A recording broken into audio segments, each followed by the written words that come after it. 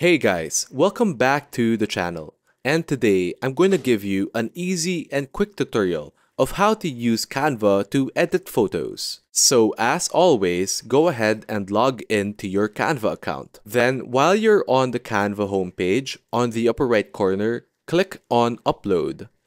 Then feel free to upload any image that you want to edit using Canva's editor suite. Once you've uploaded an image you wish to edit, click on Edit Photo. This will open up Canva's simple dedicated image editor. To access all features, select Open this photo in a design. This will open your uploaded image as a Canva design which gives you all the tools that Canva has in order to edit the image to your liking. As you can see, there are a huge number of tools like the background remover, magic eraser, and magic editor.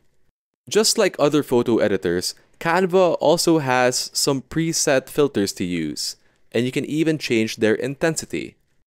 Canva also offers a large number of effects that you can use in order to edit the image even further. You can add effects like shadows, autofocus, and blur. And after selecting one of these effects, you can edit the intensity of the effect further.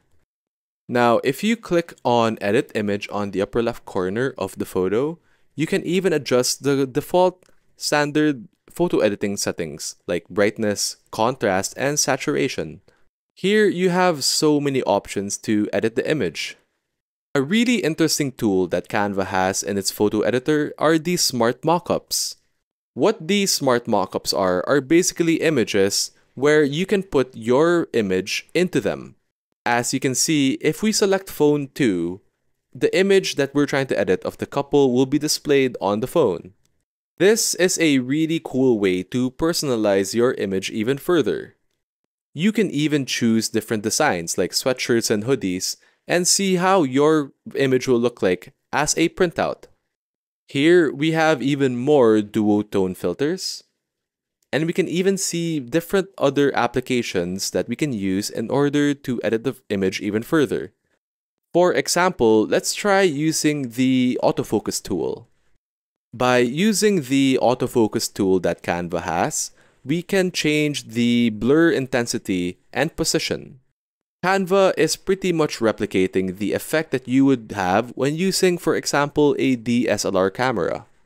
As you can see, we can change the blur position and intensity, and you can see the changed effects in real time on your image. Here, we can add some really cool and trippy paint effects. If you want to turn your photo into a work of art, it's as simple as a click of a button. Here, we're also experimenting using the slice editor, and this adds a kind of weird grainy look on your image.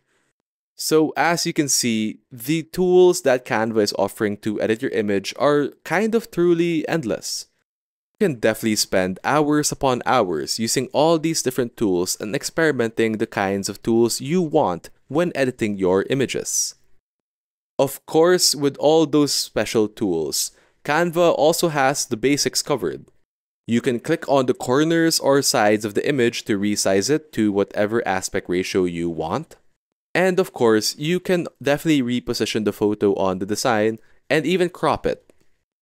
Now, if you redirect your attention to the left-hand side, you can even add elements just as you would with any other Canva design. For now, let's click on Elements, and let's look for a retro sticker to add to the photo. Here, I'm just gonna show you guys what it's gonna look like when you choose an element to add to the photo. I'm going to choose a classic old school camera. What's really cool is that these custom elements can even be edited. So you can click on the element and see the different options it has to change its color, etc. Now, let's try searching for some other elements. This time, I want to look for a vintage tape. I'm not really feeling any of these other vintage tapes, but I do like these flowers, and we can easily add it to the current element we already have, which is the camera. Now, let's also try adding a background to our image. For this video, I'm going to go with a vintage paper background. So for example, I want to go with this manuscript looking background, add it, and you can also change the position of the background and push it to the very back.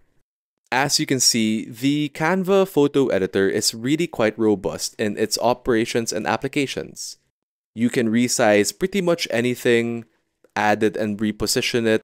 You can even rotate it until you're happy with how it looks. For now, I'm going to try and make this vintage collage looking look. Of course, as you can see, Canva can even add some text boxes for its photo editing. If you click on text on the left hand side, you can see the different text styles that you can add to your photo. For now, let's add a header to this image. Since we're making a very romantic couple photo, let's put the caption as I want to be with you for the rest of my life. Don't forget you can also change the font, font size, and font style. Here, I want to make the font something like a typewriter style for an image that looks straight out of a walk to remember or something. As you can see, it really is so simple and easy to change the font color and even edit the font after you've chosen one already. A simple and easy trick I know to add more depth and style to our font is to add a shadow style underneath it. This makes the font less flat and more appealing to look at. Now go ahead and feel free to edit the photo as you wish. And once you're happy with the design, go ahead and on the upper right corner, click on share. Then click on download. Make sure the file type is something that you want to use. For the purposes of this video, I'm going to go with PNG. And then go ahead and download your now edited photo. As you can see, we went from a very simple standard photo of a couple hugging to a custom from the ground up beautiful photo of a collage. This kind of photo truly belongs in a postcard, am I right? Either way, we've now reached the end of our video. Congratulations, you now know how to use Canva's photo editor. If you have any other inquiries or questions, feel free to leave a comment down below and don't forget to leave a like or subscribe to this channel if you enjoyed this kind of content. Thanks so much for watching, happy editing, and we'll see you guys in the next one.